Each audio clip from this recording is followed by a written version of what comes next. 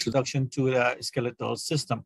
So the bones are organized in these concentric structures right here. This, this. This is going to be called the osteon. In the middle of the osteon, you're going to see this little hole, which is going to be called the central canal. We magnify that. That's what you're going to see right here. And in the central canal in there, you can see three colors. That's going to be the artery, the vein, and a nerve. And you need these three structures to give nutrients, for example, to the cells that are going to build these bones. What is the name of these cells that build the bones? It's going to be the osteoblast. We have cells that are going to destroy or remove bone. Those are going to be the osteoclast. And then we're going to have a cell that is going to maintain the bone. That's going to be the osteocyte. What am I putting maintain next to the osteoblast? Because the osteoblast will turn into the osteocyte in order to maintain the bone. How can we get different cells in our bones? Because in our bones, we're going to have a stem cell. Stem cells are the ones that are going to have in your bones that will allow you to have different types of cells in your bones. Okay, this stem cell, in a lot of books, you're going to find that these ones are considered osteogenic cells. So we said that the osteoblast is going to build the bone. How the osteoblast builds the bone? Well, the osteoblast is going to build the bone in these concentric structures right here called the osteons. Where are these cells? These cells are going to be located right there in these spaces right there. So then what you see in red right there is going to be the osteocyte. The osteocyte is right there embedded in the bone. So you're going to have a little hole right there and that cell is going to be inside. So there's a little hole and the cell is inside. There is a little hole, cell is inside. So the little hole right there in the bone is going to be called the lacunae. Communication in between the different types of little holes right there, that's going to be the canalicula. Okay, and the bone itself is the one that you're going to find in between these spaces, and that's going to be the lamellae. Now, what type of bones can you have? You're going to have this one, it's going to be called compact bone. There's no spaces in there. And then you are going to have this other one right there. As you can see, there are spacings in there. That one is going to be called spongy bone. What is the name of the cell that builds the bone? That's going to be the osteoblast. So how many types of different bones can the osteoblast build? You're going to have compact bone and a spongy bone. That's a spongy, and this is compact. But the osteoblast can also build the bones based on the shape. You're going to have flat bones, irregular bones, short bones, and long bones. So then, but based on the structure, you're to have compact and spongy. But based on the shape, then you're to have flat, irregular, short, or long. So then if we go over here, we can see a real picture of an osteon using a microscope. You can clearly see here the osteon right there.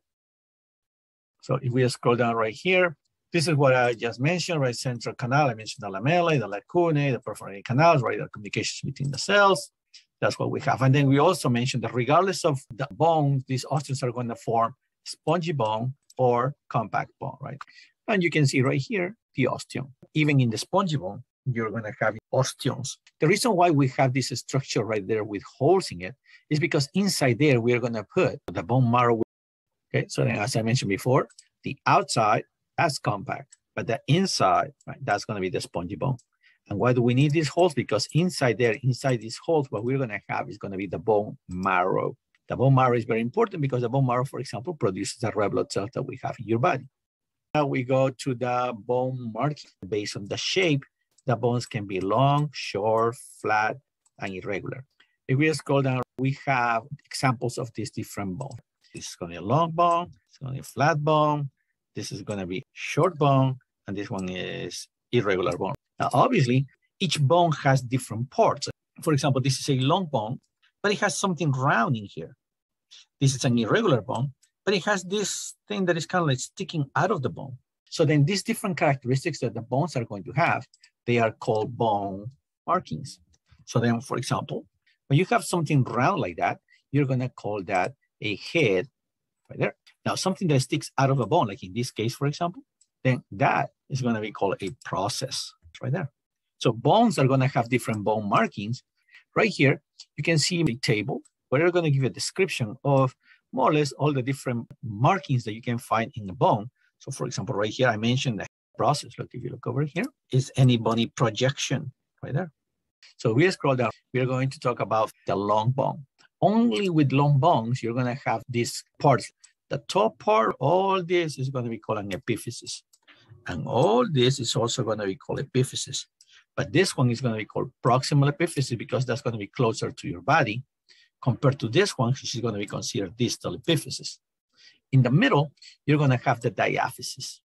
So these names apply only to long bones. Our bones are going to grow, right? So when we are younger, right, we were not as tall as we are now, but little by little, we start growing and growing and growing. The reason why we grow is because in our bones, we are going to have cartilage, especially at the top right here and at the bottom right here. Eventually, this cartilage that we have in there is going to be covered with calcium. Our bones are going to have calcium in here. As we start growing and growing, the calcium is going to be deposited in here like this. So eventually they're going to cover this part and when we cover the cartilage that was there in yellow, that's when we stop growing. That happens more or less when we turn, I don't know, maybe it's like 16 or 17 years old. If you think about it, there's going to be a moment in time in which the, there's going to be the transition between what the blue is and what the golden is. This area of transition is what they're trying to show you right here. And this part right here is the golden. It's just upside down. This is the cartilage and bone, which is this part right here. And these areas of transition, that's what's going to be called the zone. So you see here zone of ossification because in this part is becoming more bone. Eventually, all this bone will gonna go over here and will gonna cover the entire thing. Obviously, when we are young, there's gonna be this area of transition between what is bone and what is cartilage.